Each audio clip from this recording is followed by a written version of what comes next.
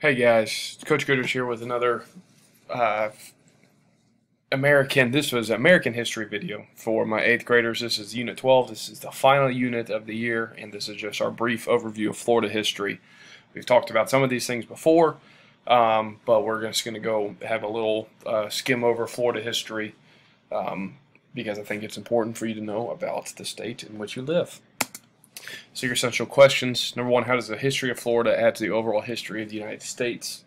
And number two, do you still feel the overall cultural impact of the melting pot settlement of Florida? How so or how not so? I would pay very close attention to number two in particular.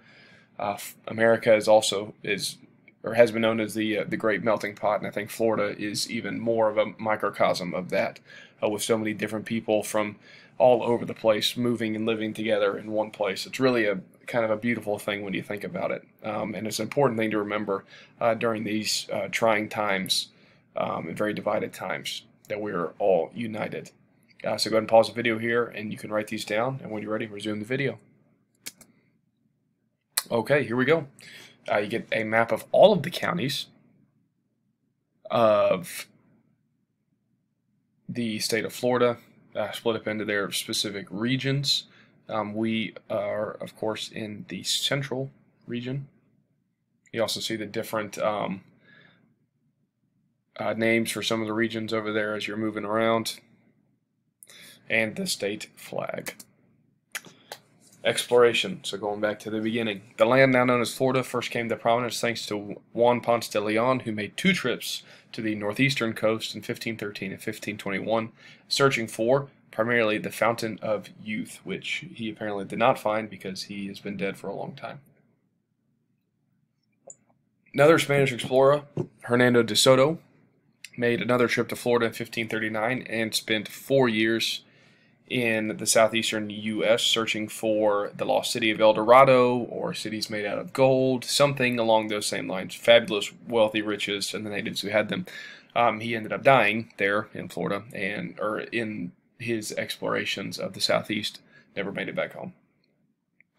Uh, Captain Tristan de Luna y Arellano attempted to colonize the area around modern day Pensacola, uh, but failed um, and left the area actually, technically, he was uh, uh, taken prisoner by his fellow Spanish compatriots who were going to bring him back to Spain for him to stand trial for his failure, uh, failing to conquer Pensacola, but he escaped um, and was never seen again. French Huguenots, uh, led by the explorer Jean uh, Ribault, set up Fort Caroline near Jacksonville and possessed control of northeastern Florida, including the settlement now known as St. Augustine, um, around 1564. And that is actually the remnants of the first and earliest modern city. However, they're not going to be there very long. So we got Juan Ponce de Leon, Hernando de Soto, and Tristan uh, go, De Luna y Ariana, which is a really long name. Final colonization. Pedro Menendez de Avilés, on orders from the King of Spain, wiped out the French in Florida and formally established the St. Augustine in 1565, making it, according to that, the oldest and the oldest still inhabited city in the continental United States. After numerous attempts to take over the area by both the French and the English, uh, the Spanish solidified control over the southeastern United States by 1600. While bringing trade, infrastructure, and Roman Catholicism Christianity to the region, the Spanish were very cruel to the natives in the area, many of whom were being driven south by the even crueler English colonists.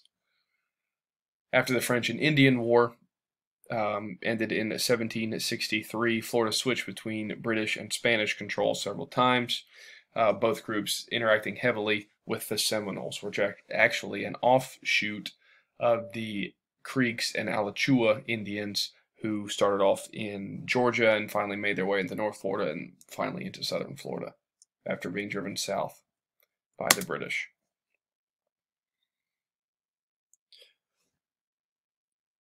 So here's Menendez and the Castillo de San Marcos, which is an old fort that you can still visit in St. Augustine to this day. Um, U.S. control. After the American Revolution, the U.S. gave Florida formally back to Spain as part of the Treaty of Paris by 1783.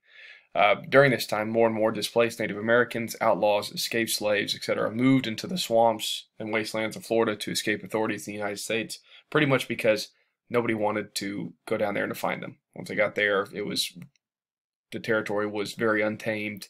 Um, the natives were unpleasant and any outsider, so it was better just to let them go and escape than send anybody down there to find them.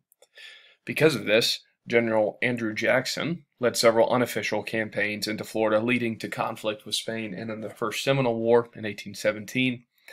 Tired of dealing with the angry natives and Jackson's army, the Spanish sold Florida back to the United States in the Adams-Onis Treaty of 1821. And Florida has been in U.S. hands since then. That's Andrew Jackson. Some of the Seminole Wars, we'll talk more about these as we work our way through it.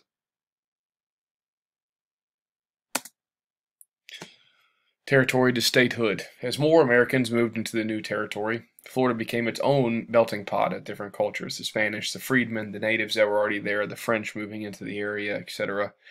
Osceola, a Seminole chieftain, could see the lands of his people being systematically taken away, and he organized a rebellion leading to the Second Seminole War, which was fought between 1835 to 1842.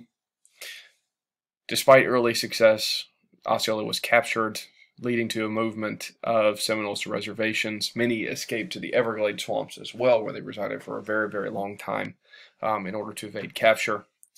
Florida became a state formally on March 3, 1845, and by 1850, Florida's population had reached 88,000. By comparison, there's about 22 million people in Florida today. There's Osceola, long seen as the, the, the unconquered spirit of the Seminole the uh, official mascot of the Florida State athletic teams. And then you can see in the different regions, you know, up here in Georgia and Alabama, we talk about the Trail of Tears, which was mainly overland travel to the Indian Territory. Well, here, for the Seminole Indians, they were moved uh, through the Gulf of Mexico and then up the Mississippi River and over into the same territories. At least those are the ones that went on the during the Indian Removal Act, the ones that did not say in the reservations, which are in the green and yellow. Development, thanks in large part to a lack of major Civil War battles, which would have brought destruction to the cities and infrastructure, Florida fared surprisingly well during Reconstruction, with major growth coming from the port cities of Jacksonville, and Pensacola, Jacksonville. Um, in particular, is seen as the logistics capital of the United States and is a very, very, very large port city. Citrus production, obviously, cattle raising, and the growing tourism industry led to widespread growth throughout the state in order to help people and trade items move throughout the state in a timely and efficient fashion. Henry Plant and Henry Flagler constructed numerous railroads and hotels and gave a lot of money to the state's infrastructure in order to help them grow to handle the larger populations. So the plant systems would work mostly through the middle of the state and go across, as you can see here, go laterally. Flagler started at the top and went down. And then through these intersections of these different ones, different railroads, you're pretty much able to take people to everywhere you need to go at that time. Depression war, and modern Florida. The Great Depression started early in Florida as banks cut off investors from large loans and credit in 1926. Large hurricanes from 1926 to 1928 further damaged housing, industry, and farmlands, and the introduction of the Mediterranean fruit fly cut citrus production by 60%. As the U.S. drew closer to war, several large military bases were constructed, thanks in large part to Florida's year round warm climate. An immigration boom directly after the war led to a large financial rebound, and the growth of large scale tourism solidified Florida's economy.